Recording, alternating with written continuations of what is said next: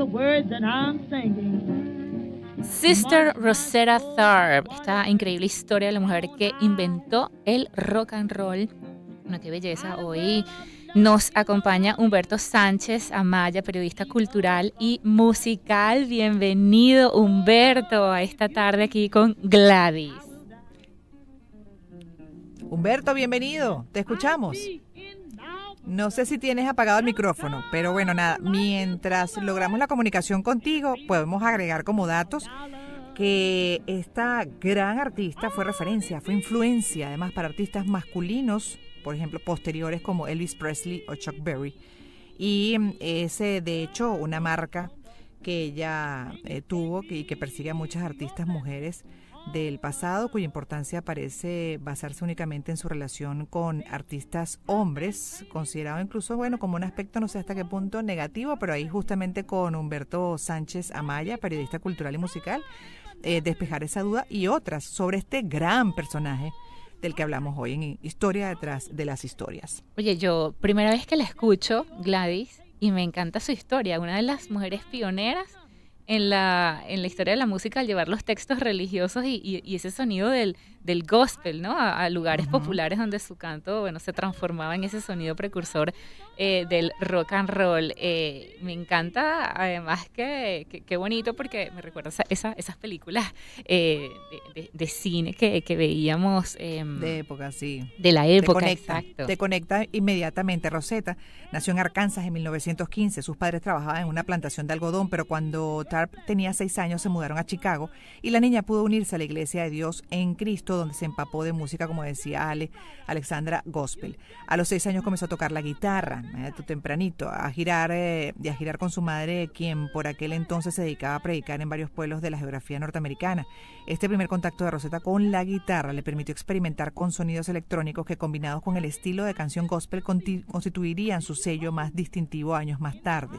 Y sus primeros éxitos fue hacia ya los 20 años casi, los 19 años. Ya tenemos en línea a Mm, ahora sí lo podemos escuchar a Humberto Sánchez Amaya, periodista cultural y musical, para que además nos dé muchos más datos sobre este gran personaje que hoy tenemos en Historia detrás de las historias. Humberto. No, todavía no lo tenemos.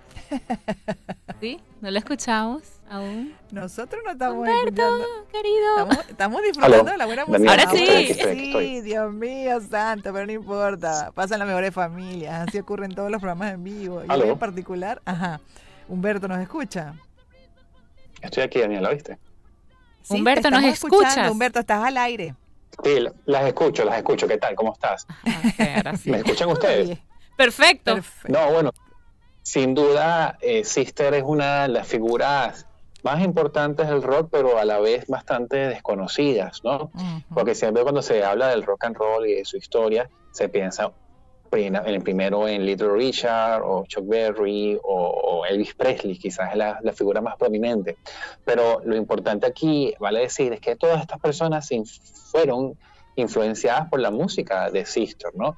No solamente por, por, por lo que por, su voz, ¿no? Una voz desgarradora, una voz muy potente, con unos tonos bastante vivos, con unos tonos que, que conmueven, que, que, que, que, invitan a la empatía, sino también por la, por la, por su forma de tocar la guitarra. De hecho, para muchos es considerada una de las mejores guitarristas o la mejor guitarrista de la historia del rock and roll.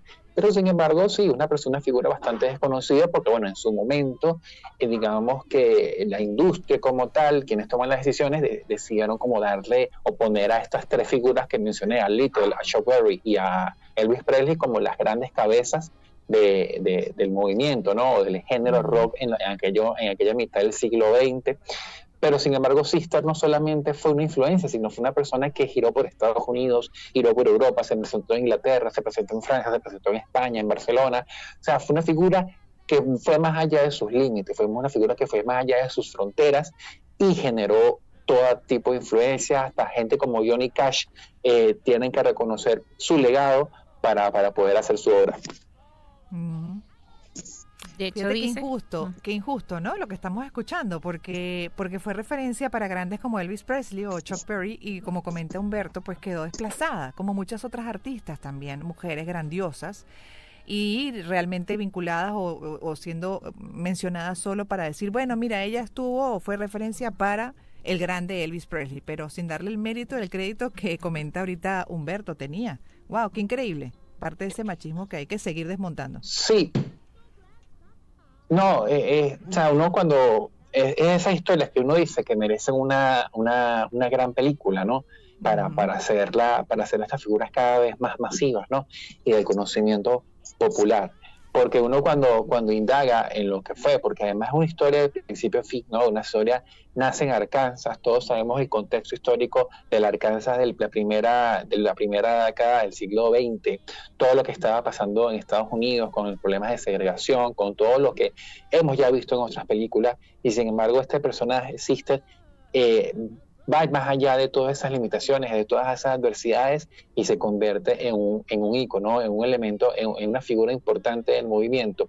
Y cómo va pasando el gospel, eh, lo mencionaron al principio, ¿no? Cómo, cómo el, gospel se, se, convierte en, una, en, una, en un llamado, una, una llama para, para, expresar sus sentimientos, y, pero también empezó a hacer música muy personal, muy intimista sobre lo que estaba viviendo a nivel personal, sobre el, eh, lo, cómo ese, ese contexto de segregación de los Estados Unidos de aquel entonces afectaba su, su, su, manera, su, intimidad, su personalidad. Y hay canciones que eh, resaltan eso y, y, se siente en su música, porque si bien el ritmo de la canción eh, invitaba, es un ritmo muy, muy pionero del rock and roll, su voz en, para mí eh, dejaba entrever una persona que, que, estaba que tenía mucho por dentro en cuanto a sufrimiento y en cuanto a reflexión sobre el entorno. Mm, perfecto, Humberto, vamos a seguir conversando acerca de esta mm, bueno, mujer increíble que inventó el rock and roll eh, vamos a escuchar un tema al regreso. Humberto Sánchez Amaya, periodista cultural y musical, nos va a estar eh, comentando un poco más acerca de esta increíble mujer. Vamos con este tema, Till I Hear From, from You, eh, cuando lo escuche de ti. Ya venimos.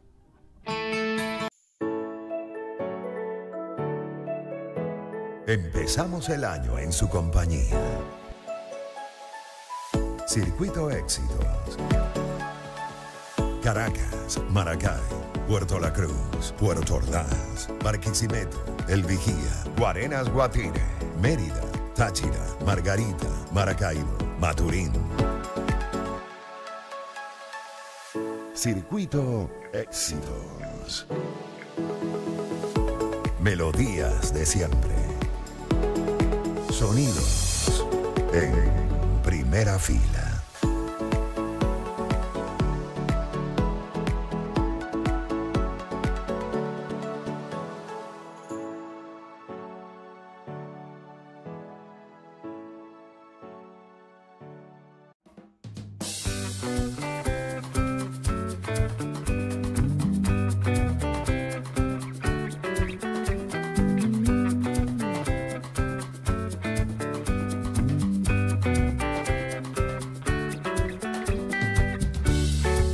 Comienza un nuevo año y estos son los eventos deportivos más importantes del 2024. Este año viene cargado de grandes emociones. Más allá de las definiciones de la NBA, el comienzo de una nueva temporada de MLB u otra final de la Champions League, hay tres eventos que se llevarán todos los reflectores, en especial